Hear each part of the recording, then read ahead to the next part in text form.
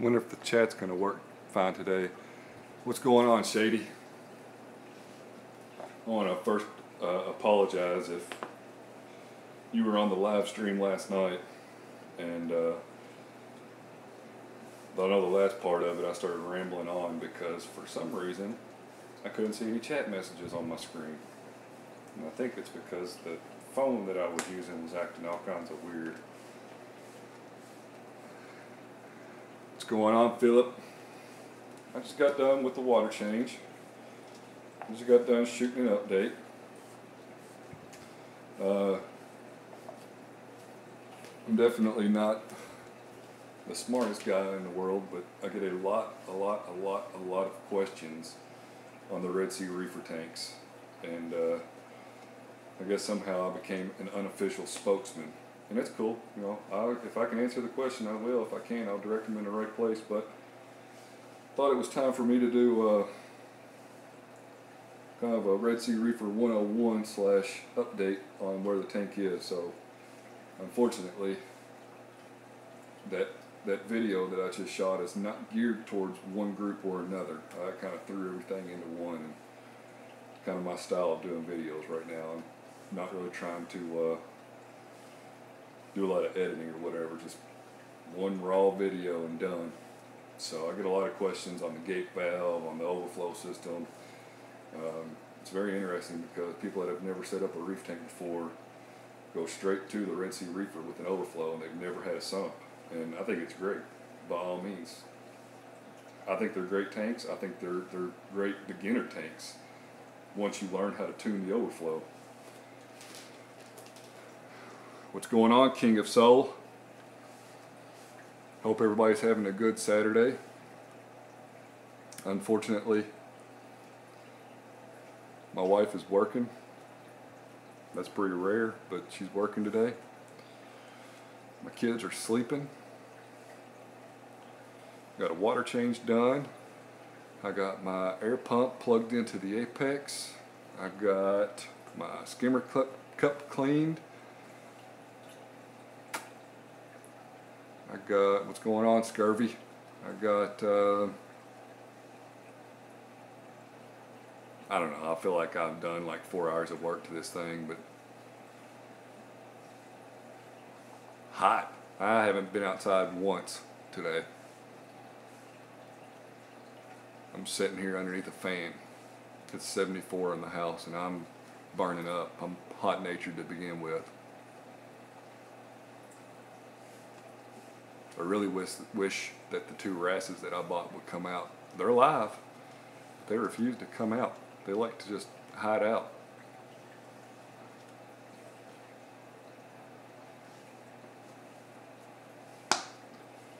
What's going on, Beta? Welcome to a live stream. Thank you, King of Soul. I appreciate it. I've I've been uh, it's a combination of halfway knowing what you're doing and, and half of it luck. I got two fairy wrasses from uh, LiveAquaria. Live Aquaria, I think until the 5th, is doing free shipping over 99. And they typically do free shipping over 149, so they got me with that email. As soon as I saw that email, I said, I'm going to go buy something for 100 bucks. And it was like 99.98. So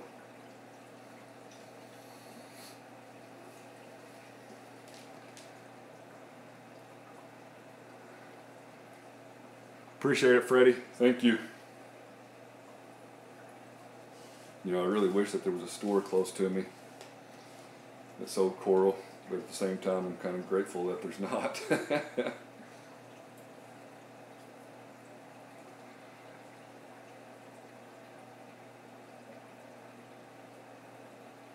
uh, I can't hardly see the comment because my tripod, but um,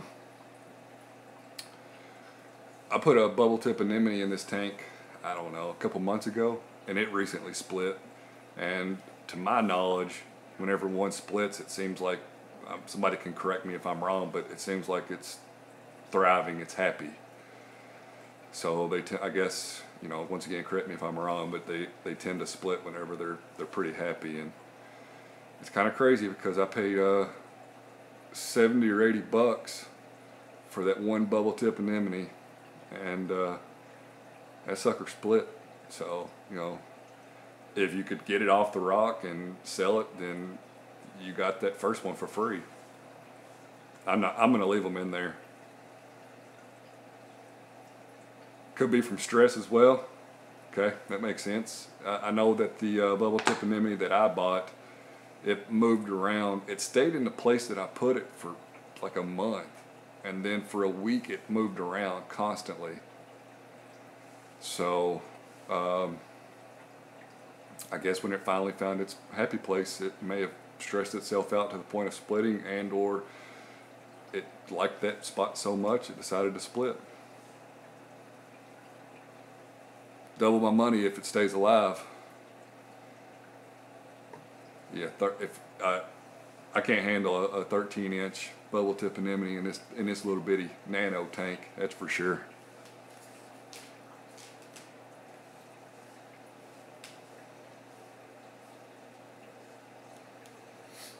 But I got my water change done. Five gallons. It's tough doing a five gallon water change, let me tell you. Those folks that are doing 40, 50, 60, 70 gallon water changes, they got it easy.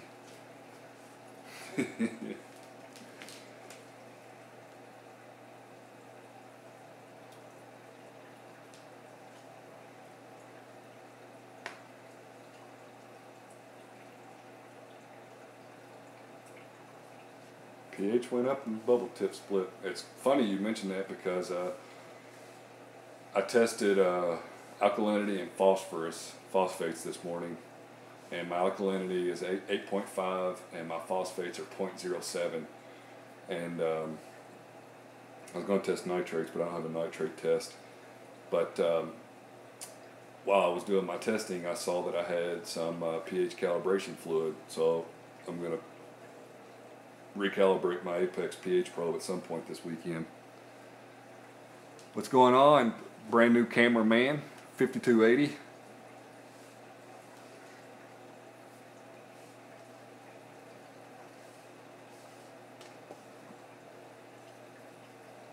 I, didn't test the water that I mixed up, but I'm using Red Sea Coral Pro and I have tested it a few times and it is high in alkalinity. It was uh, a couple times I tested it like 12.6, 12.7, 12.8 and I'm fine with that. I mean, me doing a five gallon water change out of 65 gallons, it's going to raise the alkalinity. I tested it this morning, it was 8.5. It might be 8.6 or 8.7 now, maybe.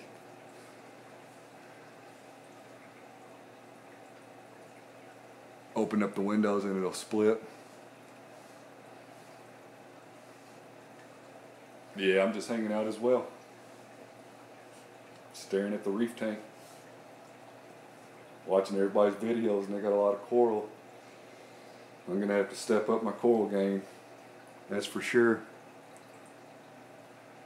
Paul Blenny's here. He's been up since four o'clock this morning, live streaming the drop-off tank. Hey, if anybody uh, in the chat don't know about Paul Blenny, then go check out his video where he drilled that uh, drilled that aquarium. Will Santiago, good afternoon.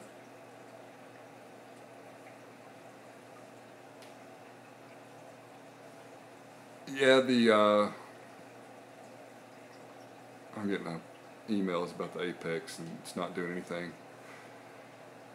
The the alky is way too high but like I said, I'm doing five gallon water changes, and I've tested it multiple times before and after, and it's all you you took rid of you took the video down.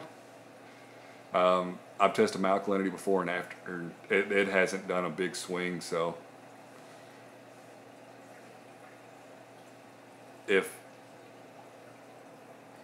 if I were to do you know maybe 10 gallon water changes, that might affect the alkalinity quite a bit more, but unless I'm something has gone terribly wrong in the uh, in the tank, I don't have any plans to to switch it up at the moment. I bought a brand I got a brand new bucket out there, and that bucket will last me quite some time. You know, four scoops of it a week. So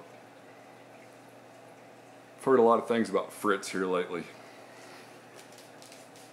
Fritz is German, correct? Judging by the the name of it, I would suspect that it's German.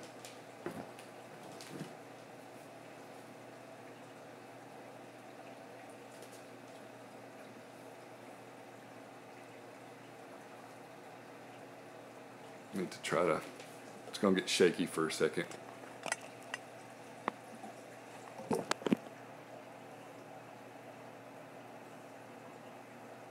Yeah, I don't blame you, Paul. Get tired of reading the same comments over and over and over. I just block them. I just start blocking them. You don't like it, move on.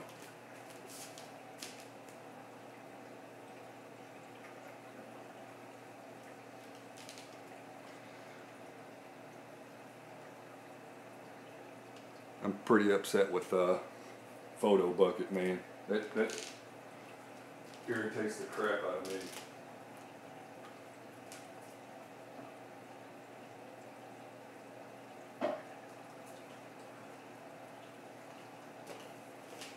Matter of fact, in the video I just shot that I'll probably upload this week, I talked about Photobucket in it. Switch to the blue bucket. Yeah, it seems pretty typical. Um, do you have to add any elements to the blue bucket or are you happy with it straight out of the bucket?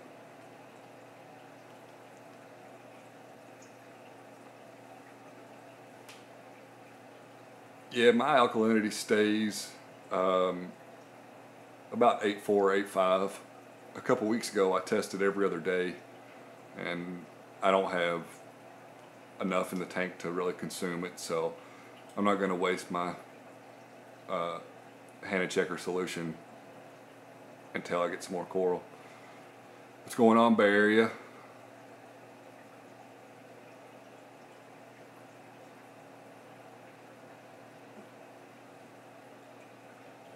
Is the blue bucket cheaper? I know the Coral Pro bucket's like 70 bucks and, and I don't mind paying that. I like the salt, it mixes up great. Thank you, Will. I appreciate it.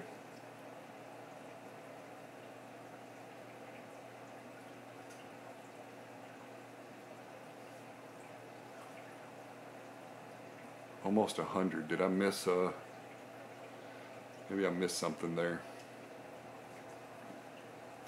I gotta sit on the floor. Same price for the blue bucket.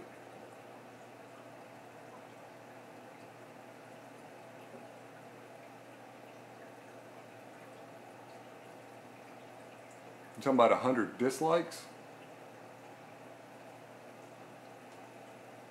CADLights tanks? I don't know anything about them. Um, I know that the I like the way that they look. Uh, the if you're talking about the artisan, I think that's how you say it, the artisan series.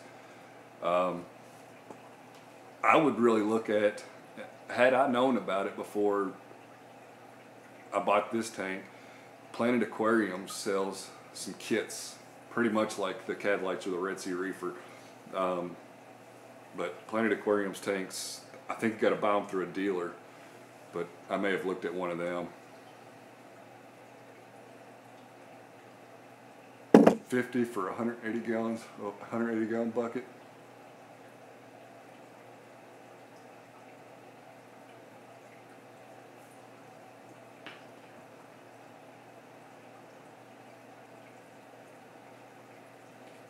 Um, I tried to test, I attempted to test my calcium this morning with the Red Sea test kit. So I have the Red Sea alkalinity, calcium, and magnesium test kit. And uh, I basically, get this bucket so I can sit on it. So I tested my calcium and I got mad. I don't like those. I wish that Hanna had good calcium and magnesium checkers. I've, I've been pretty spoiled with the alkalinity checker. So I started to uh, test the calcium and I got sick and tired of doing the one drop and shaking it, one drop and shaking it. And then I just dumped it down the sink. I said, I don't even care what it is.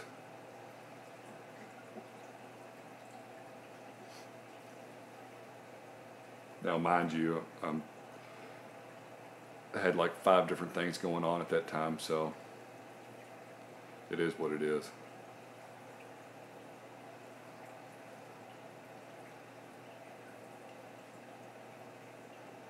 What tanks are we talking about? CAD lights, Planet Aquariums, SCA. The smaller SCA tanks don't have Euro bracing, and you can actually get the bigger tanks without any Euro bracing. You're just going to pay more because the, the glass thickness has to be increased. But I don't think any of the Cube SCA tanks have Euro bracing on them. I, I would say that uh, if you're interested in any of the SCA tanks right now, you might want to hold off because the uh, cabinet maker has been, been doing a horrible job. There's been people getting the SCA tanks. Uh, more specifically, I know I've read people getting the 150 gallon, and the cabinets that they pay for it's it's junk, it's crap. So they're having to build their stands themselves, or or uh, try to find somebody to build it for them. Now Steve is working with them, so from I, have never dealt with SCA, but from my experience and seeing his communication back and forth and him working with all the folks, um, I wouldn't hesitate to spend a dollar with uh, SCA. I think he's bent over backwards.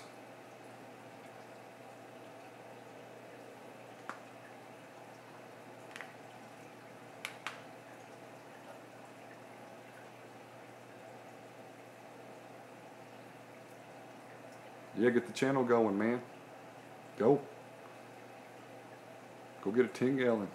Go get a fish bowl. Go get a vase. Fill it up with salt water. Put something in it.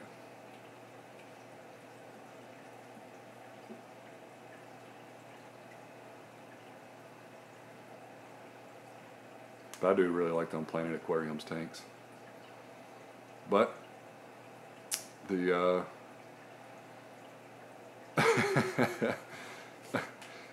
I'm not getting another tank for a while. This is this is my tank, and this is going to be here for for a while. I have no plans to build another tank anytime soon.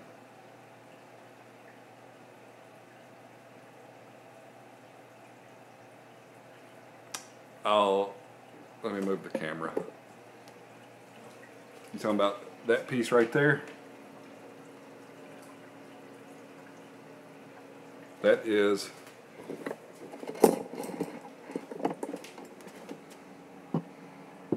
I don't know if you can see that piece right here. It's magnetic. It's a magnetic frag rack. It came from um, I can't remember where it came from. Came off of a vendor on Reef2Reef. My skimmer cup is making some noise, which is very irritating.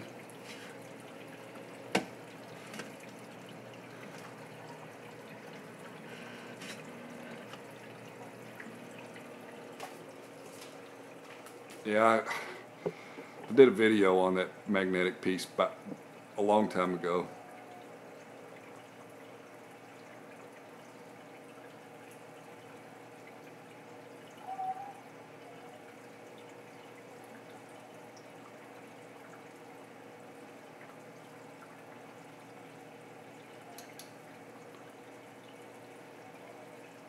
Well, folks, I just uh, hear the baby, so that means that I have to switch off of YouTube mode and go back to daddy mode. So I appreciate you spending 20 minutes with me. We can discuss tanks and vases and uh, fish bowls and Paul Blaney busting tanks. I love this reefer, Chris. Alternative Reef, that's where it came from. Um, yeah, I appreciate everybody stopping by. I'm going to go get her, feed her, hang out, see what kind of mischievous things I can get into. All right, folks. Vase on.